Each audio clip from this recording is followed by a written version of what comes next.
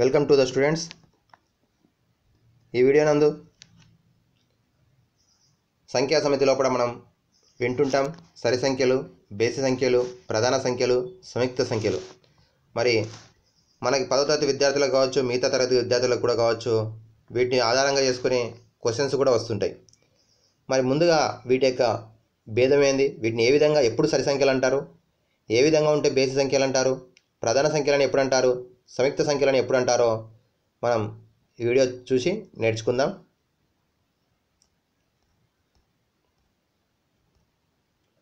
ముందుగా సహజ సంఖ్యలు. మరి సహజ సంఖ్యలు అంటే ఇక్కడ ఫర్ ఎగ్జాంపుల్ మనకి పటంలో చూడండి ఏం కనిపి మూడు క్యాండిల్స్ కనిపిస్తున్నాయి. One two three. ఈ మూడు కూడా ఒకే ఎత్తు ఒకే వ్యాసార్థంతో కనిపిస్తున్నాయి. ఇక్కడ మరొక పటాన్ని చూడండి. మ్యాంగోస్ ఉన్నాయి. కౌంట్ చేయండి. ఎన్ని ఉన్నాయి mangoes? One two three four నాలుగు మ్యాంగోస్ ఉన్నాయి. అయితే ఇక్కడ వాటి సైజ్ సేమ్ ఉందా? నో సైజ్ సేమ్ లేదు. ఒకటి పెద్దగా ఉంది ఒకటి చిన్నగా ఉంది ఒకటి మీడియం సైజ్ ఉంది. మరి సైజు వేరువేరుగా ఉంది కాబట్టి ఒకటి one and half two two and half two three by four ఇట్లా నేను చెప్పవచ్చా వాటిని? చెప్పడానికి రాదు. వాటి బరువులు చెప్పవచ్చు మనం. కానీ వాటి యొక్క ఎన్ని ఉన్నాయని చెప్పడానికి మనం కౌంట్ చేసేటప్పుడు వాటి సైజుతో సంబంధం లేదు. వన్ టూ త్రీ ఫోర్ అంటాం. అట్లాగే మీ ఇంట్లో ఎంతమంది ఉన్నారు అంటే పెద్దవాళ్ళు ఉండవచ్చు చిన్నవాళ్ళు ఉండవచ్చు. ఏ విధంగా ఉన్నప్పటికీ ఏజ్తో సంబంధం లేకుండా ముగ్గురు ఉంటే ముగ్గురు నలుగురుంటే నలుగురు అని చెప్తాం కౌంటింగ్ అలాగే మీ ఇంట్లో ఎన్ని రూములు ఉన్నాయి? నీ దగ్గర ఎన్ని పెన్నులు ఉన్నాయి? ఎన్ని పెన్సిల్ ఉన్నాయంటే కౌంట్ చేసి వన్ టూ త్రీ ఫోర్ అని కౌంట్ చేస్తాం. ఎవరైనా త్రీ నుంచి కౌంట్ చేస్తారా? నో. అంటే అందరం కూడా వన్ నుంచే కౌంట్ చేస్తాం. అది చిన్నగా ఉన్నా పెద్దగా ఉన్నా నెక్స్ట్ నెంబర్ టూ అనే చెప్తాం. నెక్స్ట్ త్రీ అని చెప్తాం. మరి ఇట్లా ఎంతవరకు ఉంటాయి కౌంటింగ్? అనంతం. అంటే మనం చెప్పుకుంటూ పోయే కొద్దీ వస్తూనే ఉంటాయి.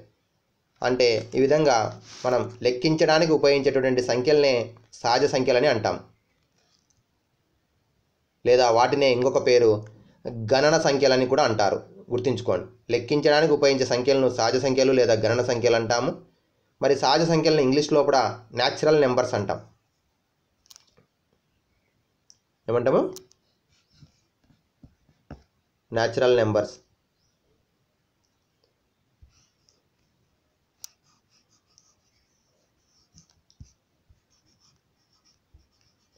న్యాచురల్ నెంబర్స్ అంటాం కాబట్టి ఫస్ట్ లెటర్ ఎన్ ఉంది కాబట్టి కాబట్టి సహజ సంఖ్యలను ఎన్ అన్న అక్షరం చేతో సూచిస్తారు. అంటే ప్రతిసారి కూడా మనం సహజ సంఖ్యలను తెలుగులో కానీ ఇంగ్లీష్లో న్యాచురల్ నెంబర్స్ అని రాయలేము కాబట్టి ఎన్ అన్న అక్షరం చేతో చూస్తాం. ఎందుకంటే మామూలుగా మనం ఇంటి పేరు పెద్దగా ఉంటే ఏం చేస్తాం? ఒక చిన్న లెటర్ రాస్తాం.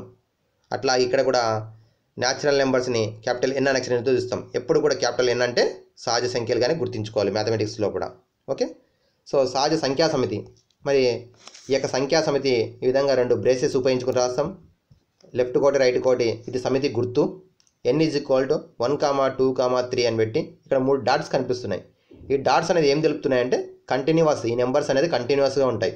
ఎంతవరకు అంటే ఎండ్లెస్ ఇన్ఫినిటీ అని అర్థం. ఓకే సహజ సంఖ్యలు అంటే లెక్కించడానికి ఉపయోగించే సంఖ్యలను సహజ సంఖ్యలు అంటారు లేదా గణన సంఖ్యలు అంటారు. సహజ సంఖ్యలను ఎన్ అక్షరం చేత సూచిస్తాం. సహజ సంఖ్యలు వన్ కామా టూ కామా త్రీగా ఇన్ఫినిటీగా రాసుకుంటాం. నెక్స్ట్ ఇది. కారణాంకం లేదా భాజకం మరి సహజ సంఖ్యలనే ఎందుకు చెప్పుకున్నామంటే మనం సహజ సంఖ్యలతో పాటు పూర్ణాంకాలు పూర్ణ సంఖ్యలు అకరణీయ సంఖ్యలు కరణీయ సంఖ్యలు వాస్తవ సంఖ్యలు ఈ విధంగా అన్ని సంఖ్యా సమితులు అలాగే సంకీర్ణ సంఖ్యా సమితి కూడా ఉంటుంది. అయితే ఈ సంఖ్యా సమితుల్లో కూడా మి సహజ సంఖ్యలు కాకుండా మిగతా సంఖ్యా సమితుల్లో కూడా సరి సంఖ్యలు బేసి సంఖ్యల గురించి చర్చించము. ఒక సహజ సంఖ్యలకు మాత్రమే సరి సంఖ్యలు బేసి సంఖ్యలు ప్రధాన సంఖ్యలు సంయుక్త సంఖ్యలు కారణాంకాలు గుణిజాల గురించి మాట్లాడతాం. అందుకొరకే సహజ సంఖ్యలనే మీకు చెప్పడం జరిగింది. నెక్స్ట్ ఇది కారణాంకం. మరొక పేరు భాజకం అని అంటాం. ఏంది కారణాంకం అంటే? ముందుగా ఫర్ ఎగ్జాంపుల్ ఒక సంఖ్య నాలుగు తీసుకుందాం. నాలుగుని ఒకటి చేత భాగిద్దాం. ఎందుకంటే సహజ సంఖ్యలే తీసుకోవాలి. ఒక నాలుగు నాలుగు. శేషం ఏమొచ్చింది? సున్నా. ఇప్పుడు ఇదే నాలుగుని రెండు చేత భాగిద్దాం. రెండు రెండులో నాలుగు. శేషం సున్నా వచ్చింది. ఇదే నాలుగుని మూడు చేత భాగిద్దాం. మూడెక్క మూడు. శేషం ఒకటి వచ్చింది. ఇదే నాలుగును నాలుగు చేత కూడా భాగిద్దాం. నాలుగు ఒకట్లో నాలుగు. శేషం సున్నా వచ్చింది. ఇదే నాలుగును ఐదు చేత కూడా భాగిద్దాం. భాగించబడదు. ఓకే భాగించబడదు. మరి భాగించబడదు. ఎందుకంటాం? ఐదు సున్నా సున్నా రాయొచ్చు కదా అంటే ఇక్కడ మనము పూర్ణాంక మనకి భాగఫలం కూడా ఖచ్చితంగా ఏం కావాలంటే సహజ సంఖ్యనే రావాలి. గుర్తుంచుకోండి. సహజ సంఖ్యనే రావాలి. సో ఇక్కడ ఏం కావాలి? భాగఫలం సహజ సంఖ్య రావాలి. శేషం మాత్రం సున్నా రావాలి. గుర్తుంచుకోండి. శేషం సున్నా వచ్చినట్టయితే దానిని ఇచ్చినటువంటి సంఖ్యకు కారణాంకం అంటాం. అంటే ఏ సంఖ్య చేత భాగించినామో ఆ భాగించబడినటువంటి సంఖ్యను ఇచ్చిన సంఖ్యకు కారణాంకం అంటాం. ఇప్పుడు నాలుగు యొక్క కారణాంకాలు మీకు ఏం కనిపిస్తున్నాయి? వన్ వచ్చింది టూ వచ్చింది ఫోర్ వచ్చింది. త్రీ రాలేదు. ఓకే ఎందుకు రాలేదు? శేషం ఒకటి వచ్చింది కాబట్టి రాలేదు. ఓకే? అట్లాగే సిక్స్ తీసుకుందాం. సిక్స్ తీసుకుంటే ఏమేమి వస్తాయి? ఒక్క ఆరు ఆరు రెండు ముళ్ళ ఆరు మూడు రెండుల ఆరు ఆరు ఎక్కం ఆరు. నాలుగు కానీ ఐదు టేబుల్లో కానీ రాదు. కాబట్టి ఆరు యొక్క కారణాంకాలు ఏమొస్తాయి? One two three six. మళ్ళీ సెవెన్ వస్తుందని చెప్పొచ్చా? చెప్పలేం. అంటే ఏ సంఖ్య చేత భాగించబడుతుందో ఆ సంఖ్యను ఇచ్చినటువంటి సంఖ్యకు కారణాంకం అని అంటాం. మరి ఇక్కడ సహజ సంఖ్యలే తీసుకోవాలి. సహజ సంఖ్యలు కాకుండా దశాంశ సంఖ్యలు ఆకర్ణ్య సంఖ్యలు తీసుకోరాదు. నెక్స్ట్ మరి కొంతమంది పిల్లలకి డౌట్ రావచ్చు. ఏది డౌటు సార్ నేను సిక్స్ తీసుకుంటా. ఫోర్తో డివైడ్ చేస్తా. అంటే ఎవరికి డౌట్ వస్తుందంటే ఇది డెసిమల్ డివిజన్ చేయడానికి వచ్చిన వాళ్ళకి పాయింట్ పెట్టి కూడా డెసిమల్ చేయడానికి వచ్చిన వాళ్ళకి డౌట్ వస్తుంది. ఎట్లా వస్తుంది చూడండి? నాలుగు ఎక్కం నాలుగు. ఆరులో నాలుగు అయితే రెండు. మామూలుగా అయితే సిక్స్త్ క్లాసు వాళ్ళకి స్టార్ట్ లేకుండా డెసిమల్స్. ఇది రెండు శేషం వచ్చింది కాబట్టి నాలుగు కారణాంకం కాదని చెప్తారు. అదే సెవెంత్ క్లాస్ వాళ్ళకి డెసిమల్స్ వచ్చింటుంది కాబట్టి ఏం చేస్తారు? ఇక్కడ పాయింట్ పెట్టి సార్ పాయింట్ పెట్టినా కాబట్టి ఇక్కడ జీరో అయింది ట్వంటీ. నాలుగు ఐదులు ఇరవై. ఇప్పుడు ఏమొచ్చింది శేషము? సున్నా వచ్చింది. శేషం సున్నా వచ్చింది కాబట్టి నాలుగు కారణాంకం అని నేను అంటాను.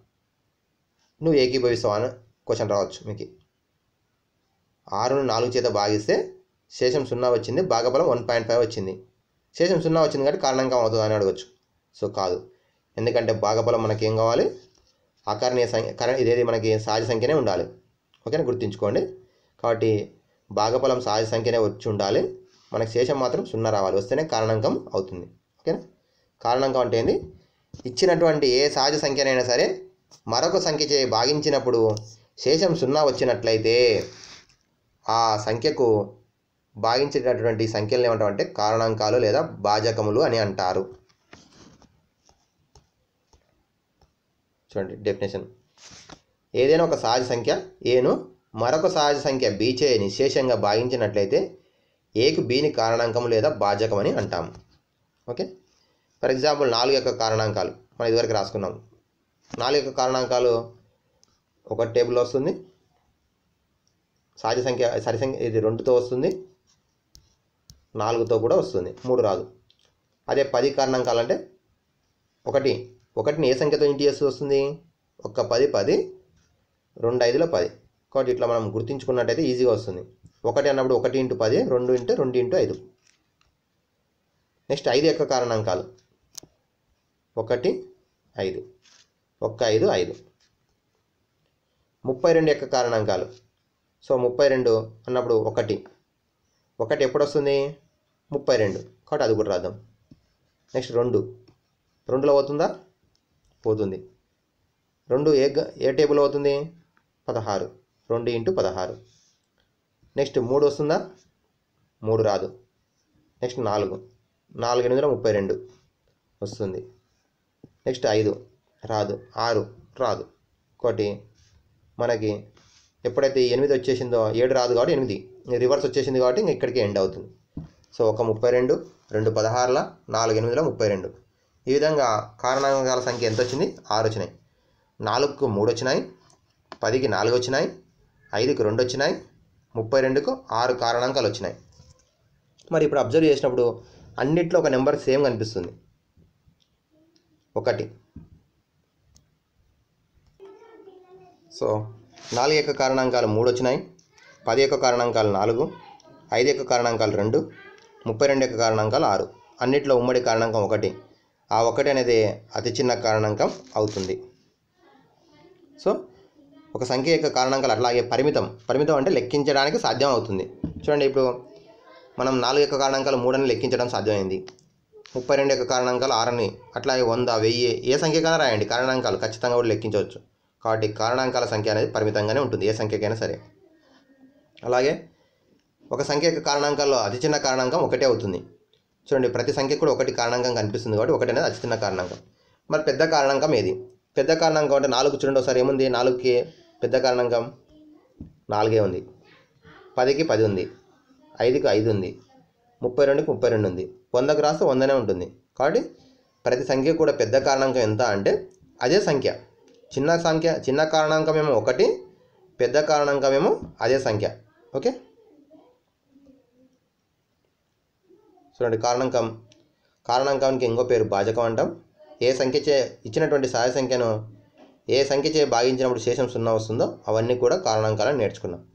నెక్స్ట్ కారణాంకంతో పాటు ఇంకొకటి భాజకం గుణిజం. మరి గుణిజాలు అంటే ఏంటివి? కారణాంకాలు అంటేనేమో ఇచ్చినటువంటి సహాయ సంఖ్యలను ఏ సంఖ్యల చేత భాగించినప్పుడు శేషం సున్నా వస్తుందో అవి కారణాంకాలను. నెక్స్ట్ గుణిజాలు అంటే ఏదైనా ఒక సహజ సంఖ్యను అన్ని సహజ సంఖ్యల చేత గుణించగా వచ్చే లబ్ధాలను వరుసగా గుణిజాలు ఆ సంఖ్యకు గుణిజాలని అంటాం. అంటే మూడు యొక్క గుణిజాలంటే మూడు యొక్క గుణిజాలను వరుసగా సహజ సంఖ్యలు అంటే వరుసగా సహజ సంఖ్యలు వన్ టూ త్రీ ఈ విధంగా అన్ని సహజ సంఖ్యల చేత గుణించగా వచ్చే లబ్ధాలు. అంటే మూడు ఒకట్ల మూడు మూడు రెండుల ఆరు మూడు ముళ్ళ తొమ్మిది ఇలాగే రాసుకుంటూ వెళ్ళాలి. ఎంతవరకు అంటే అనంతం. అంటే ఒక సంఖ్య యొక్క ఒక సంఖ్యను సహజ సంఖ్యల చే గుణించగా వచ్చే లబ్ధాలను ఆ సంఖ్య యొక్క గుణించాలని అంటాం. మనం దానిని టేబుల్స్ అని చెప్తుంటాం నేర్చుకుంటుంటాం. త్రీ టేబుల్స్ అంటే త్రీ సిక్స్ నైన్ ట్వెల్వ్ అట్లా థర్టీ వరకు నేర్చుకుంటాం. అయితే థర్టీ వరకే కాకుండా అనంతంగా ఉంటాయి. ఇవే గుణిజాలు. ఏదైనా ఒక సంఖ్యను సహజ సంఖ్యలు వన్ టూ త్రీ ఇలా చే గుణించగా వచ్చే లబ్ధాలను గుణిజాలు అంట. ఆ సంఖ్యకు గుణిజాలు అంటాం. చూడండి ఇక్కడ రెండు యొక్క గుణిజాలు ఇట్లా వస్తూనే ఉంటాయి. మనం కొన్ని రాయగలుగుతున్నాం. అలాగే ఐదు యొక్క గుణిజాలు ఐదు పది పదిహేను ఇరవై ఇరవై ఐదు. ఇవి కూడా అనంతం. పది యొక్క గుణిజాలు పది ఇరవై ముప్పై నలభై యాభై అరవై డెబ్బై. సో ఇప్పుడు అబ్జర్వ్ చేయండి. ఒక సంఖ్య యొక్క గుణిజాలు ఎట్లున్నాయి? కారణాంకాలేమో పరిమితంగా ఉన్నాయి. గుణిజాలేమో అనంతంగా ఉన్నాయి. ఒక సంఖ్య యొక్క గుణిజాలలో చిన్నది ఏముంది చూడండి? రెండు గుణిజాల్లో చిన్నది రెండు. ఐదు గుణిజాల్లో చిన్నది ఐదు. పది గుణిజాల్లో చిన్నది పది. కాబట్టి చిన్న గుణిజం అనేది అదే సంఖ్య. ఒక యొక్క సంఖ్య యొక్క గుణిజాల్లో పెద్దది అనేది చెప్పలేము. కారణాంకాలలోనేమో చిన్న కారణాంకం ఒకటి పెద్ద కారణాంకం అదే సంఖ్య. అదే గుణిజాల్లో చిన్న గుణిజం అదే సంఖ్య పెద్ద గుణిజ అని చెప్పలేం. సో ఇవి కారణాంకాలు గుణిజాలకు డిఫరెన్సెస్. ఓకేనా? నెక్స్ట్. మనం సహజ సంఖ్యలను రెండు రకాలుగా వర్గీకరిస్తాం. ఒకటి సరి సంఖ్యలు. రెండు బేసి సంఖ్యలు. ఓకే? అలాగే ప్రధాన సంఖ్యలు సంయుక్త సంఖ్యలు ఉంటాయి. కానీ అవి వేరు. ఇక్కడ మరి సరి సంఖ్యలు బేసి సంఖ్యలు రెండు రకాలు అంటున్నాం. దేని ఆధారంగా చేసుకుని చెప్తున్నాం? అంటే ఇప్పుడు ఒకదాన్ని వర్గీకరించాలంటే ఒక కాన్సెప్ట్ బేస్ చేసుకుని చెప్పాలి. ఇప్పుడు సరి సంఖ్యలు బేస్ సంఖ్యలు రెండు రకాలు అంటున్నాం. ఎప్పుడు సరి సంఖ్యలు అంటాం? ఎప్పుడు బేస్ సంఖ్యలు అంటాం అనేది గుర్తు చేసుకుందాం. చూడండి ఒక సంఖ్యను రెండు చే భాగించగా శేషం సున్నా వస్తే వాటిని సరి సంఖ్యలు అంటాం. రెండు చే భాగించగా శేషం ఒకటి వస్తే బేసి సంఖ్యలు అంటాం. మనం ఇదివరకు చెప్పుకున్నట్టే. మరి ఇక్కడ ఏం కావాలి? భాగఫలం ఒకటే భాగఫలం అనేది మనకి సహజ సంఖ్యనే రావాలి. మళ్ళీ పాయింట్లు వస్తే తీసుకోకూడదు. కాబట్టి దానికి మరో రకంగా ఏం చెప్తారంటే చూడండి ఇక్కడ. రెండు యొక్క గుణిజాలను సరి సంఖ్యలు అంటారు. రెండు యొక్క గుణిజాలను సరి సంఖ్యలు అంటాం. అంటే రెండు నాలుగు ఆరు ఎనిమిది పది. ఇట్లా. చూడండి ఇక్కడ రాస్తున్నా రెండు నాలుగు ఆరు ఎనిమిది పది పన్నెండు పద్నాలుగు పదహారు పద్దెనిమిది ఈ విధంగా రాసుకుంటూ పోతే అన్ని కూడా సరి సంఖ్యలే అంటాం. లేదా రెండు చేయ నిశేషంగా భాగించబడే సంఖ్యలను సరి సంఖ్యలు అంటాం. ఓకే? ఈ రెండు చేత భాగించబడిన సరి సంఖ్యలను సరి సంఖ్యలు అంటారు అనేది ఏమవుతుందంటే కొన్నిసార్లు తప్పుగా అర్థం చేసుకునే పిల్లలు ఉంటారు. ఎట్లా మనకి ఇంతకుముందు చెప్పినట్టు మూడుని రెండు చేత భాగిస్తే భాగఫలం వన్ పాయింట్ ఫైవ్ వస్తుంది శేషం సున్నా వస్తుంది. కాబట్టి ఇది కూడా మనం సరి సంఖ్య అనవచ్చు అని అడగవచ్చు కాబట్టి అట్లా కాకుండా దాని కొరకే అందరికి అర్థమయ్యేటట్టు రెండు యొక్క గుణిజాలను సరి సంఖ్యలు అంటారు. ఓకే? ఇప్పుడు ఒకసారి అబ్జర్వ్ చేయండి సరి సంఖ్యల్లో కూడా. ఇప్పుడు చూడండి ఈ సరి సంఖ్యలు ఇక్కడ రాసినాను కొన్ని. రెండు నాలుగు ఆరు ఎనిమిది పది. ఇట్లా అబ్జర్వ్ చేస్తే ఒకట్ల స్థానంలో రెండు నాలుగు ఆరు ఎనిమిది సున్నా వచ్చినాయి. ఈ విధంగా కూడా మనం ఏం చెప్పొచ్చు అంటే ఒకట్ల స్థానంలో ఉన్నటువంటి రెండు నాలుగు ఆరు ఎనిమిది సున్నా. దీంట్లో ఏ సంఖ్య ఉన్నా సరే ఒకట్ల స్థానంలో. ఆ సంఖ్యలను సరి సంఖ్యలు అంటారు. ఓకే? చూడండి ఇక్కడ కొన్ని ఎగ్జాంపుల్స్ ఎంత పెద్ద సంఖ్యనని ఇవ్వని మనం అబ్జర్వ్ చేయాల్సింది ఒకట్ల స్థానంలో ఉన్నటువంటి సంఖ్యను అబ్జర్వ్ చేయాలి. త్రీ హండ్రెడ్ ఎయిటీన్ ఒకట్ల స్థానంలో ఎయిట్ ఉంది కాబట్టి సరి సంఖ్య. ఫోర్ ఉంది కాబట్టి సరి సంఖ్య. సిక్స్ ఉంది కాబట్టి సరి సంఖ్య. మన సంఖ్య ఎంత పెద్దనని దాన్ని చదవడం కానీ కామాలు పెట్టి చదవడం కానీ చేయాల్సిన అవసరం లేదు. సరి సంఖ్యని గుర్తించాలంటే వర్గీకరించాలి అంటే ఒకట్ల స్థానంలో రెండు నాలుగు ఆరు ఎనిమిది సున్నా ఉన్నట్టయితే సరి సంఖ్య అవుతుంది. ఓకే? నెక్స్ట్ది. బేసి సంఖ్యలు. రెండు యొక్క గుణిజాలు కానటువంటి సంఖ్యల్ని బేసి సంఖ్యలు అంటారు. రెండు యొక్క గుణిజాలు అయితేనే సరి సంఖ్యలని నేర్చుకున్నాం కాబట్టి రెండు యొక్క గుణిజాలు కానటువంటి సంఖ్యల్ని బేసి సంఖ్యలు అంటారు. లేదా రెండు చే భాగించగా శేషం ఒకటి వచ్చే సంఖ్యలను బేసి సంఖ్యలు అంటారు.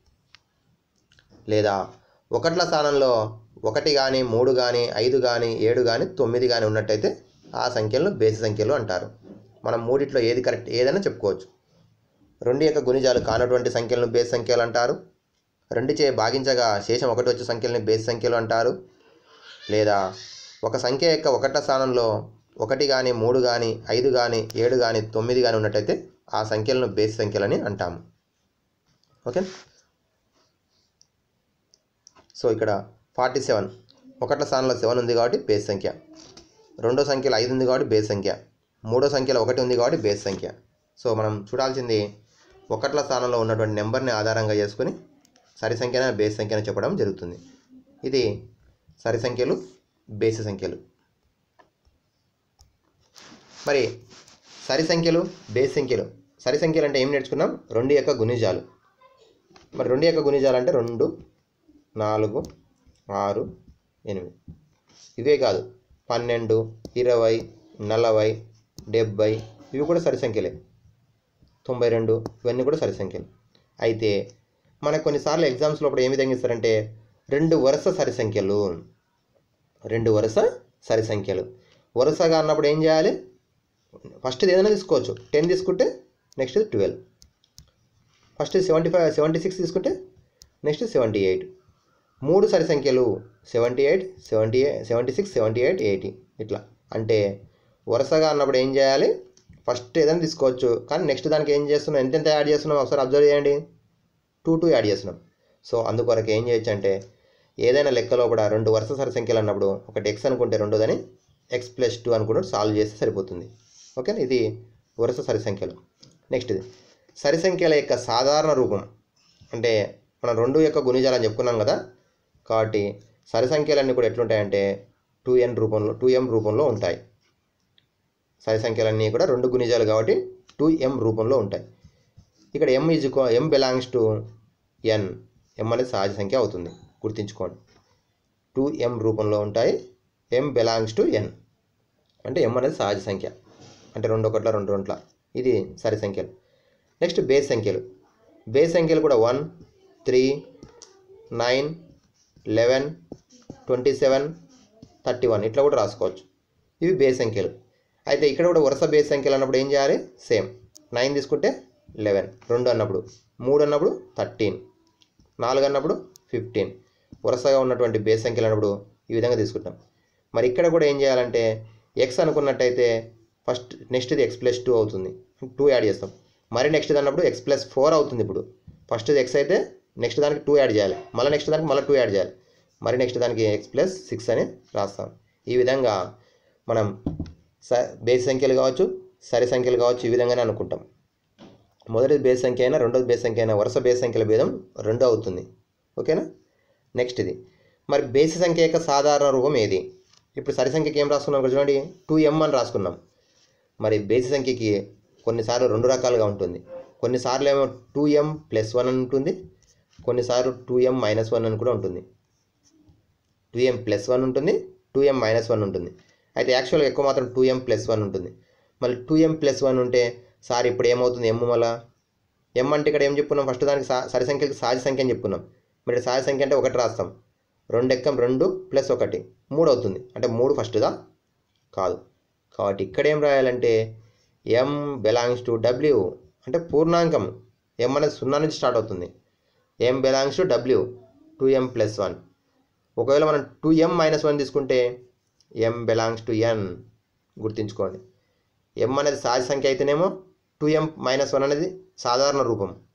ఎం అనేది పూర్ణాంకం అయితే టూ ఎం ప్లస్ వన్ అనేది బేసి సంఖ్యల యొక్క సాధారణ రూపం. ఓకే ఇది గుర్తుంచుకోండి. ఇప్పుడు ఏం నేర్చుకున్నాం మనము? సరి సంఖ్యలు నేర్చుకున్నాం బేసి సంఖ్యలు నేర్చుకున్నాం. సరి సంఖ్యలు అంటేనేమో రెండు యొక్క గుణిజాలు బేసి సంఖ్యలు అంటే రెండు యొక్క గుణిజాలు కానటువంటి సంఖ్యలు. నెక్స్ట్ సరి సంఖ్యలు ఏమో వరుసగా ఉన్నటువంటి సరి సంఖ్యలు అన్నప్పుడు ఏమో టూ టూ యాడ్ చేసి వస్తాయి. అట్లా బేస్ సంఖ్యలు కూడా టూ టూ యాడ్ చేసినే వస్తాయి. కాబట్టి X X plus two X plus four X plus six అనుకుంటాం. నెక్స్ట్ ఇది సరి సంఖ్యల యొక్క సాధారణ రూపం టూ ఎం బేసి సంఖ్యలకి ఏమో టూ ఎం మైనస్ వన్ ఒకసారి టూ ఎం ప్లస్ వన్ ఒకసారి అనుకుంటాం. అయితే ఇక్కడ ఎం అనేది కండిషన్ గుర్తుపెట్టుకోండి. ఎం అనేది మనం సాయ సంఖ్యలు అయితేనేమో టూ ఎం మైనస్ వన్ సరి సంఖ్యలు అయితే పూర్ణాంకాలు అయితేనేమో two M plus one okay? No doubt next topic next ఇది. మరి ఇంతకుముందు చెప్పుకున్నది రెండు యొక్క గుణిజాలను ఆధారంగా చేసుకుని రెండు రకాలు చెప్పినాం. ఇప్పుడు సహజ సంఖ్యల యొక్క వాటి కారణాంకాల సంఖ్యను బట్టి కారణాంకాల సంఖ్యను బట్టి బాగా అబ్జర్వ్ చేయండి. కారణాంకాల సంఖ్యను బట్టి మూడు రకాలుగా వర్గీకరిస్తాం. మరి ఏంటి ఏంటివి? ప్రధాన సంఖ్యలు సంయుక్త సంఖ్యలు మరియు ఒకటి. ఒకటి అనేది ఎందుకంటామో ఇప్పుడు చూద్దాం మనం. ముందుగా ఫస్ట్ ప్రధాన సంఖ్యలు. ప్రధాన సంఖ్యలు చూడండి ఇప్పుడు కొన్ని సంఖ్యలు రాద్దాం. ఫర్ ఎగ్జాంపుల్ రెండు రాద్దాం. రెండుకి ఏమేమి వస్తాయి? కారణాంకాలు చెప్పండి. రెండు కారణాంకాలు ఏమొస్తాయి one comma two. First one కూడా రాద్దాం. వన్ కారణాంకం ఏమొస్తుంది వన్నే వస్తుంది. నెక్స్ట్ త్రీకి కారణాంకాలు ఏమొస్తాయి వన్ కామా త్రీ. నెక్స్ట్ ఫోర్కి ఏమొస్తాయి వన్ టూ ఫోర్. నెక్స్ట్ ఫైవ్కి వన్ ఫైవ్. సిక్స్కి ఏ టేబుల్ వస్తుంది? One two three six. సెవెన్కి వన్ కామా సెవెన్. ఎయిట్కి వన్ కామా వన్ ఎయిట్. ఒకటి ఇంటూ ఎనిమిది రెండు ఇంటూ నాలుగు. ఓకేనా? So one two four eight. నైన్కి ఒక తొమ్మిది తొమ్మిది. మూడు మూడుల తొమ్మిది. పదికి ఒక పది పది. రెండు ఐదుల పది. పదకొండుకి ఒక పదకొండు పదకొండు. పన్నెండుకి ఒక పన్నెండు రెండు ఆరుల మూడు నాలుగుల. ఓకేనా? ఈ విధంగా కారణాంకాలు రాసుకుంటూ పోతున్నాం. మరి ఒకసారి అబ్జర్వ్ చేద్దాం. ఒకటికి ఎన్ని వచ్చినాయి కారణాంకాలు? ఒకటే వచ్చింది. రెండుకి ఎన్ని వచ్చినాయి? రెండు. మూడుకి ఎన్ని వచ్చినాయి? రెండు. నాలుగుకి ఎన్ని వచ్చినాయి కారణాంకాలు? మూడు. ఐదుకి ఎన్ని వచ్చినాయి? రెండు. ఆరుకి ఎన్ని వచ్చినాయి? నాలుగు. ఏడుకు రెండు. ఎనిమిదికి నాలుగు. తొమ్మిదికి మూడు. పదికి నాలుగు. పదకొండుకి రెండు. పన్నెండుకు ఆరు. అంటే ఏం అబ్జర్వ్ చేస్తున్నాం? ఫస్ట్ ఒకటి వచ్చింది కాబట్టి నెక్స్ట్ రెండు వచ్చినాయి కాబట్టి నెక్స్ట్ మూడు వచ్చినాయి వచ్చినాయి అట్లా రాలేదు. అంటే సంఖ్య పెద్దదా చిన్నదా సంబంధం లేదు. ఆ సంఖ్య ఏ సంఖ్య చేత భాగించబడుతుందో వాటిని బట్టి దానికి కారణాంకాలు వచ్చినాయి.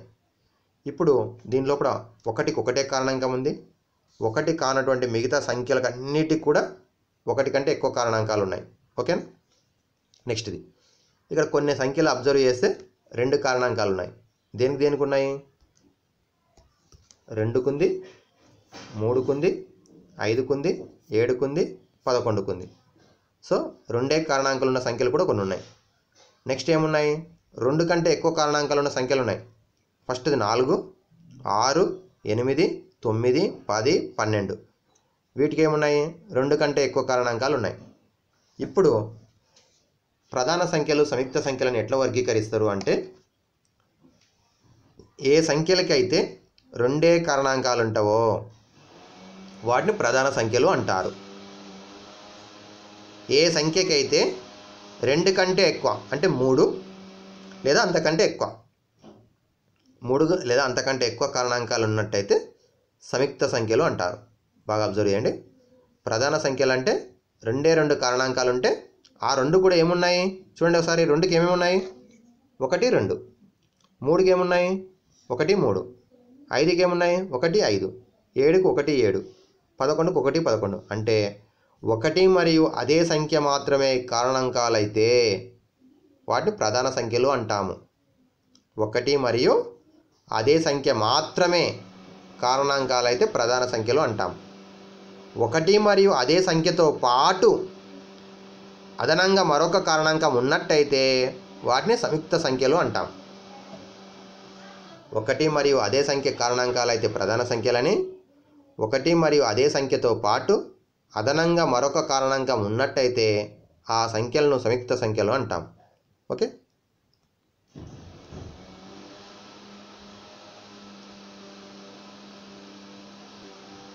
చూడండి. డెఫినేషన్. ఒక సంఖ్యకు ఒకటి మరియు అదే సంఖ్య మాత్రమే కారణాంకాలు అయితే ఆ సంఖ్యలను ప్రధాన సంఖ్యలు అంటారు. లేదా? ఒక సంఖ్యకు రెండు కారణాంకాలు మాత్రమే ఉన్నట్లయితే ఆ సంఖ్యలను ప్రధాన సంఖ్యలు అంటారు. రెండు యొక్క కారణాంకాలు ఒకటి కామ రెండు ఐదు యొక్క కారణాంకాలు ఒకటి కామ ఐదు తొంభై ఏడు యొక్క కారణాంకాలు ఒకటి కామ తొంభై ఏడు.